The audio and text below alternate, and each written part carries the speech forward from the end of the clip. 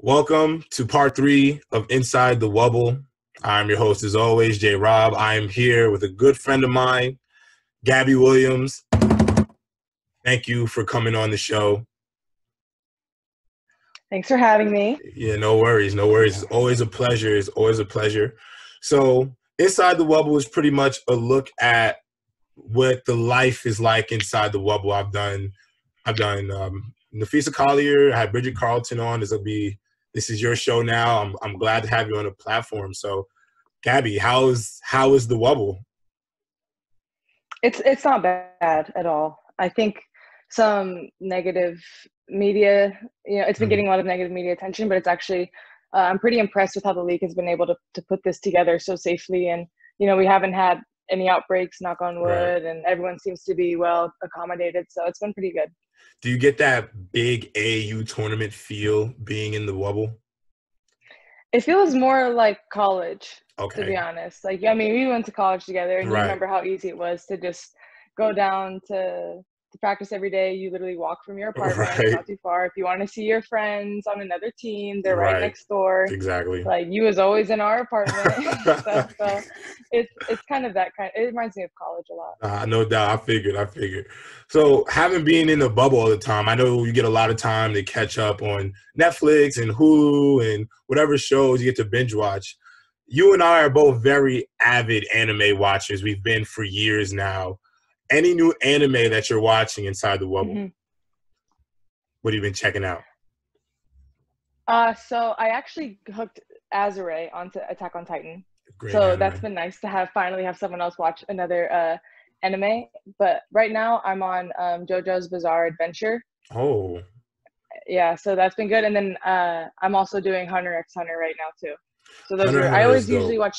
Yeah, Hunter Hunter's cool. So I just uh, I usually start two Mm-hmm. Oh, sorry, I'm out of the camera. No, no I usually two out of time. So those are the two that I'm on. I I loved Hunter Hunter. Um, h- how far are you in the anime right now? Uh, JoJo's Bizarre Adventure. I think I'm like almost done with season one, mm-hmm. and Hunter Hunter. Like I I just got to like okay. episode two. Like okay, I, okay, not far at all. So Hunter yeah. Hunter is good. So don't I'm, say anything. no, I'm not. I'm not gonna say anything about either. I've I've seen both animes. Um, Hunter Hunter, I really like. I think the ending may disappoint you. I'm sorry to tell you. Mm. And then um, I'm never. I've never been really the biggest fan of JoJo. Um, a lot of people do like it though. It's very like either you really like it or some people just don't. I'm kind of like on the fence. I'm indifferent because it is good it is a really good anime. Yeah. But then I think as the the multiple seasons go, that's when I kind of like I don't know about it. But those are some really good animes to watch and have pretty big fan bases. Hunter Hunter, I wish they would actually reboot, like start again. Oh yeah. I think it has so much potential. Like they did with Full Metal. Yes, yes. But see, Full Metal. The thing about Full Metal is when cool. the the original Full Metal they stopped it. Um, they had stopped it before the manga had ended. Before the manga finished. Yeah. So yeah. After so Brotherhood is actually like the real interpretation of the manga, and it was great. Fullmetal right. Alchemist is great. So Chicago Sky, you guys are four and one, four and one right now at this point in the bubble, looking like one of the best teams in the WNBA. Definitely competing favorites for a championship. So from the outside watching you guys play, it seems like you guys play so free. It's like you would never know that you were drafted. You've only been in your third year. DeShields is only in her third year.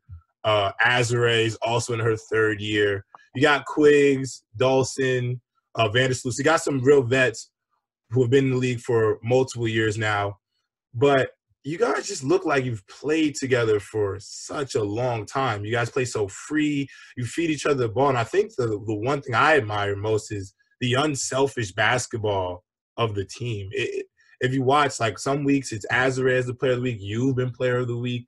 It it always seems to fluctuate. Whoever kind of has the hot hand, whoever got has it going, you know, you guys just make it work, and everybody finds the basketball and make plays. I think watching you guys play, to be honest, this is just me being personal opinion. You guys been the funnest team to watch so far in the Wubble. Um, how could you attribute you guys' like synergy as a team?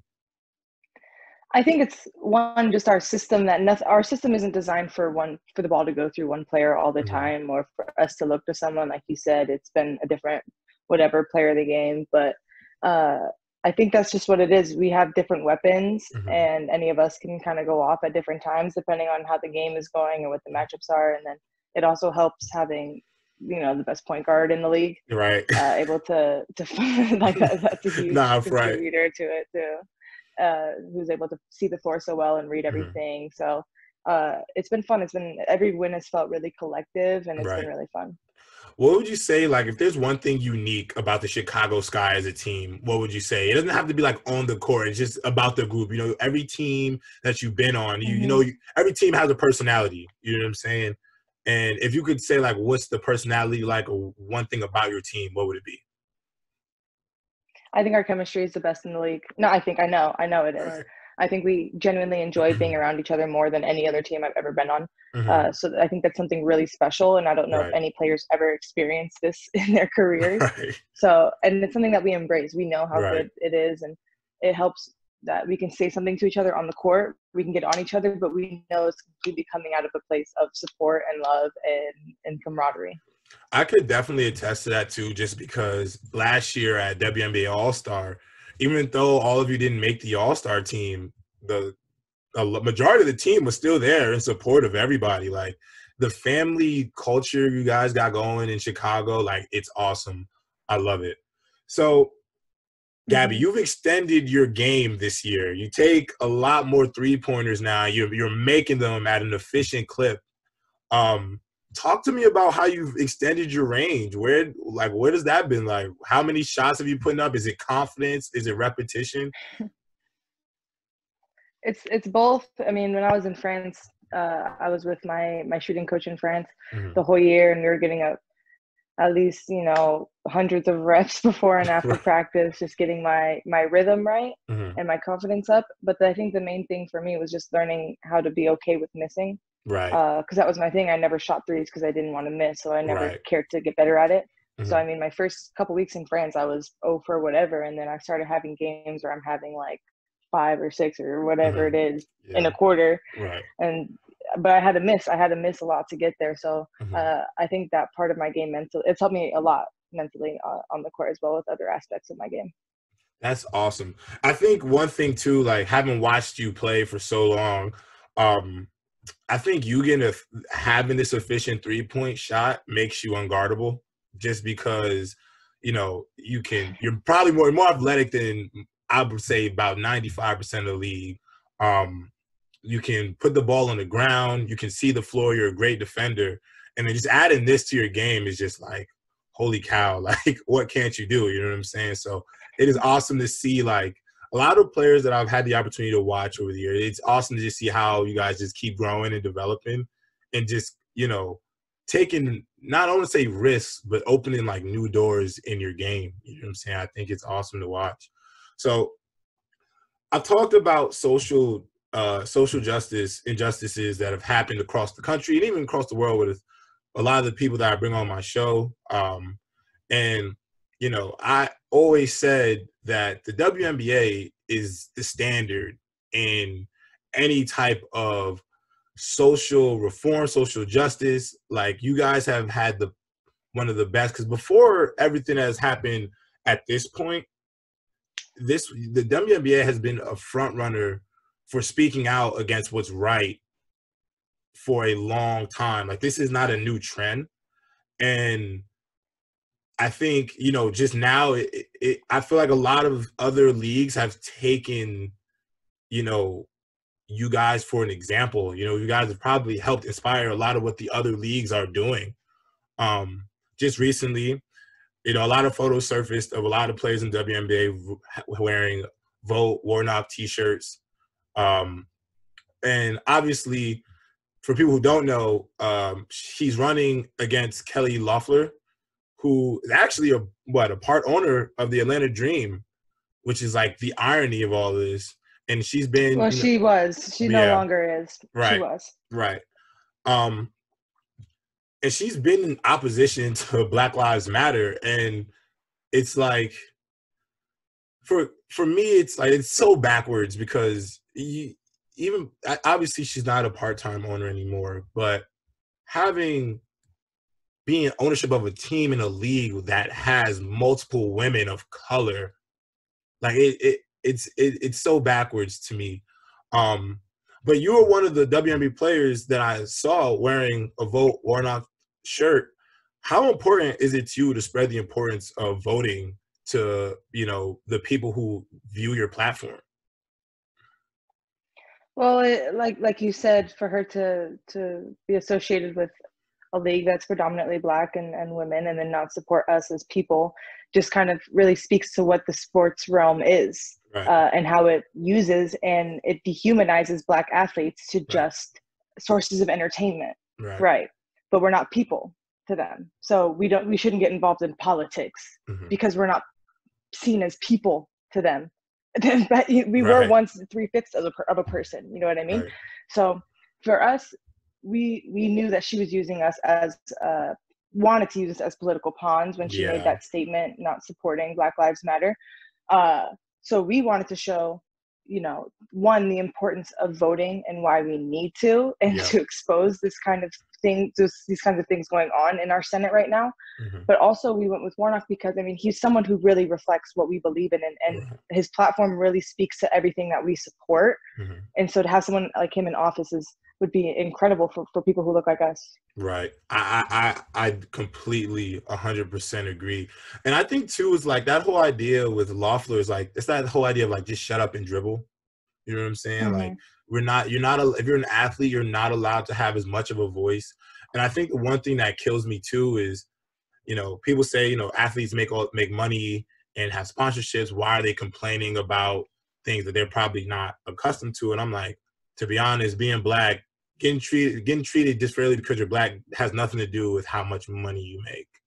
You know what I'm saying? Mm-hmm. Like being black, like we were this is how we were born. Like this is what we face on a day to day. It has nothing to do with the financials. Um so the Chicago Sky, you guys have this initiative called Sky Takes Action. Um so what was the origin of that and how did that come about that the team created its own initiative and is obviously it's gaining attention and people are supporting it. But where were the where did the origin start? Where as an organization, you guys decided like this is what we want to do. Well, like you mentioned, there's always this, uh, you know, we hear the shut up and dribble, we hear the stay out of politics, we hear that, you know, stay in your lane, whatever it is. Uh, uh, but there's no separation when it comes to being a basketball player and being black. Mm-hmm. Uh, although there, we may be seen by people who tend to be the owners of these types of things right um, they tend to see us as as you know separable identities like we're only athletes but we're not black while we're athletes we're not black while we're on the court right? right, but as soon as we step off the court we can be treated however we want it doesn't mm-hmm. matter our opinion shut up you're not you're only supposed to be what right. we want you to be and so us we didn't want to be used like that we didn't want mm-hmm. to be used as a distraction when mm-hmm. we came to the bubble we didn't want to be people's outlet to you know everything going on in the world we mm-hmm. said no we if we're going to come to this bubble we're going to make our statement and we're going to show that this these things are not separable our, mm-hmm. our identity is being black women like right. our lives are at danger we're seeing people who look like us being oppressed and murdered in mm-hmm. cold blood every day and not receiving right. justice right. so for us it was really important to do something as a team that took action and that made this if you're going to turn the WNBA, you're going to you're going to hear Black Lives Matter. You're going to hear about what we're doing because for us this isn't just a political statement or a yeah. hashtag. This is our livelihood. Right, right, no doubt. Like I, I hundred percent, hundred percent agree. I think though, I think one thing too is that being black, like I feel like sometimes people just don't understand that being black is just not it.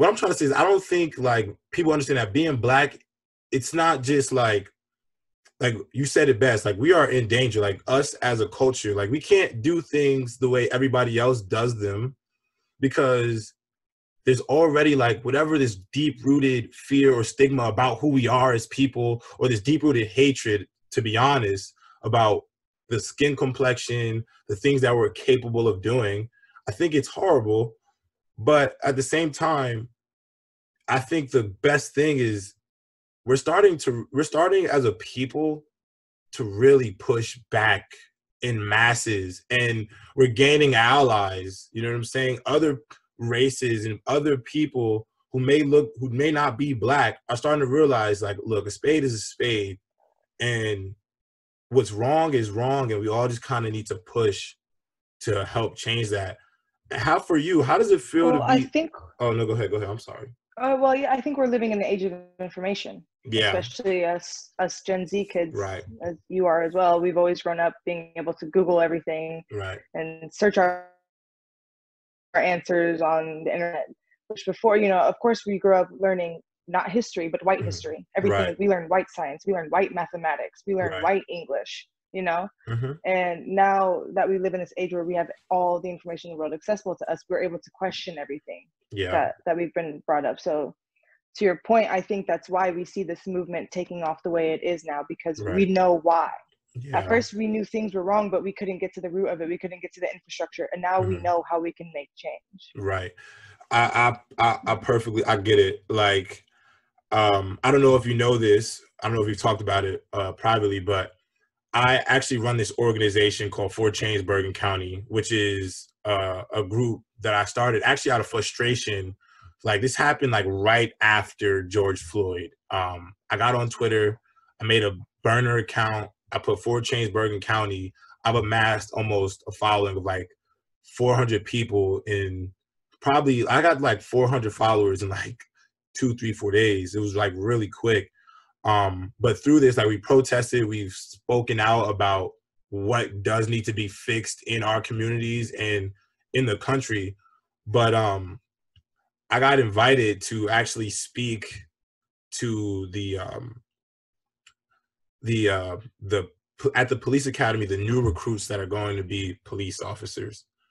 And um, at first, I was a little um, was a little weary about it um, I just didn't know because I was I was personally invited by the chief deputy of my town, and um, I also was like, I don't know if this is like a setup or if this is something that I didn't I just didn't know all the information at the time, but then I kind of realized like this type of uncomfortable conversation you can have with a bunch of people in law enforcement, a bunch of things they may not really want to hear or are ready to hear if you have like the opportunity or the platform into doing that, then you got to do it. You know what I'm saying? I feel like as a black man, as a black woman, we have to do our part in this fight. This is no one group's fight. Everybody has to do things in their respective platforms and respective communities to try to fight this change. So, like, I, I hands down understand like where you're coming from.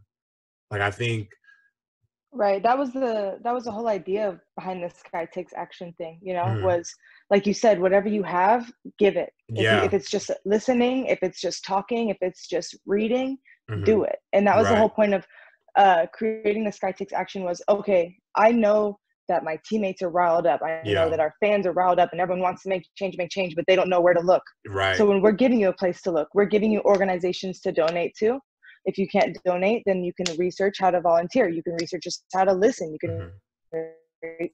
just start and that's the whole point of this action is it's not just a, a transactional thing where hey we raise money we give it and that we're mm-hmm. good no this is going to have longevity and we're going to build off this and right. and just help those who want to help and be allies mm-hmm. or or if you're black you know how to how to uh, be more help in your community, this mm-hmm. is that way to access that information. Yeah, nah, no doubt. Like that's so important too because some people really just don't know, and everybody mm-hmm. just needs access to information. I think that I think what you guys are doing as an organization is impeccable. How does it feel for you though to have not only be a part of a league that fights for women that look like you and men that look like me, but you have an, a, a team, the organization you play for is also behind you. How does how, what does that feel, what does that feel like? I mean, it's one of the most rewarding things ever, and I feel like putting this all together has been really like mentally exhausting yeah. and really difficult but it's so rewarding when i get to hear like from our white majority owners that they mm. have our backs on this or from seeing like how motivated uh, my white teammates are uh, to be a part of this too and there's no mm. separation and then you know, for us as as the black teammates, it means so much to know that we're we have this safe space where there's no divide amongst these yeah. issues, and we can do this and and feel supported on it. Because right. either way, we decided that we're gonna do it. Yeah. but it does make it right. a hell of a lot easier knowing that we do have the support not only from our teammates but from the league as well and being able to wear wear these vote Warnock shirts and have the league post about right. it and stuff and in and further extend our platform you know it just adds so much to our movement that's awesome so transition transitioning um you are avid eh, uh, i follow you on tiktok i know you have some some of the funniest creative tiktoks um but the us is possibly banning tiktok um but it seems like Instagram is coming out with this thing called Reels, which allows you to do pretty much essentially what we're doing on TikTok, but on Instagram. And this is again Instagram destroying something, another app that we love because they destroyed Vine. Exactly. They, destroyed they did it once with Vine, right? Then, then Snapchat, and now it seems like they're coming after they're coming after TikTok next. coming after TikTok. So, do you plan on transitioning from TikTok TikTok to the new TikTok of Instagram? One, if this is true, uh, I think this is more than just deleting an app, but it's yeah. our. Oh, I, I, I am not going to. I agree. You know, yeah, it obviously has political motivation behind it. The fact yep. that Gen Z kids yep, yep. are unifying and mobilizing through this app. So I want to make that clear that everyone knows why this is being banned. Oh yeah. So I, I don't know. I think I'll do the same thing with uh with Vine. I mean, rest in peace. I rest was quoting Vines today to my millennial roommates and they had no idea what I was saying. Mm. but uh I I do. I mean, it, I've gone through it once, so I guess I'll have to go through it again if it does happen. Yeah, I think rest in peace to TikTok too. I'm definitely won't be on the on the reels on Instagram. I like TikTok because it's like a, it's it's its own private thing. I don't I don't want it on. Instagram. I don't want to be on Instagram. Right. Yeah.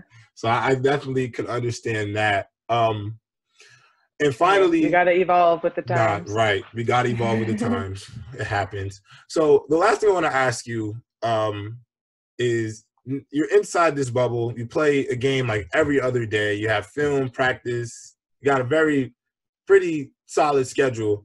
Um, and I know you probably think about you know getting out of the bubble and what would you wish you would be doing right now if you had a little bit more freedom. So if you were outside the bubble, what is the one thing you miss most about your freedom, or one thing you miss doing, a person to be seen, just any activity?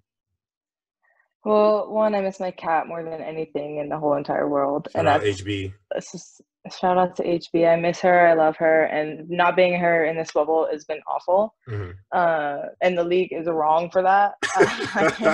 I'm thankful for everything the league has done. Right. But this, they're you know they know they're wrong for that. So I'm gonna say it on the podcast. Um, for not letting us bring pets. But I also just like it just get a bit claustrophobic and mm-hmm. like my roommates were talking about how we just like to go to the grocery store or mm-hmm. go shopping i i would just love to just go driving in my car yeah like, blasting music, music. Um, it's the little things there's nothing really yeah. huge that i miss but just the little freedoms those that those time that time alone that you have because now we all have roommates again right right right so yeah, no, I get that. I, I, 100%, I can 100% understand that. But before I let you go, Gabby, I do want to say this as somebody who has become like a, a local politician and not really a more like a local activist in my community, and as somebody who has been fighting for the rights of people that look like us. Um, and, and I'm be honest, it has been exhausting because you mm-hmm. have to have. I've had to have conversations with um, politicians and you know, law enforcement. And I'm a lot of the time I feel like I'm I'm in, it feels like I'm trying to connect the world to black America because everybody mm-hmm. seems so disconnected from it. And it is exhausting. But I do want to say, like, as somebody who has watched you for a number of years now, you've always been outspoken when it comes to speaking up about what's right. Like this George Floyd and the the incidents that have happened this wasn't the start for you. You've been doing this. I've watched you consistently talk about racial injustice, sexism, homophobia, all the hateful, divisive things that we are falling victim to in this country. You stand for something. You don't fall for anything. Um, and I just want to say thank you because it is important. And as somebody who has such a large platform, thousands of followers, people looking at you all the time, you do you're not afraid to be unapologetically you and speak up for what's right, even if it means some people may not support you anymore. You don't care. We need people like you, Gabby. So thank you. And I appreciate you coming on my platform. That means the world. Thank you so much for having me. No problem. I'll catch up with you soon. Thank you so much again. I'll see you later. Of course.